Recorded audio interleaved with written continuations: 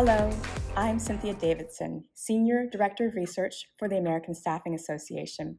Today, we released findings from our first quarter 2020 Staffing, Employment, and Sales Survey, which covers approximately 10,000 establishments, or about a third of the staffing industry.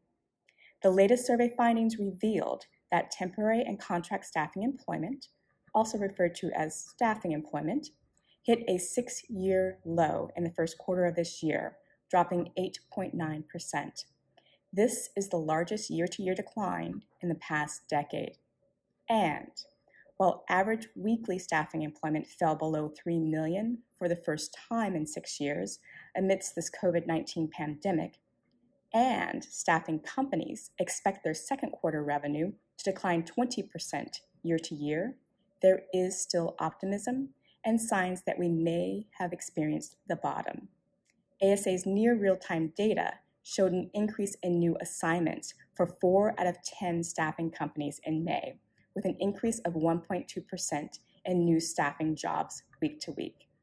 To learn more about our latest quarterly survey findings and our ASA weekly staffing index results, or to dive into previous results, visit americanstaffing.net forward slash research and follow ASA Research on Twitter at Staffing Data. I look forward to sharing more staffing industry insights with you next quarter.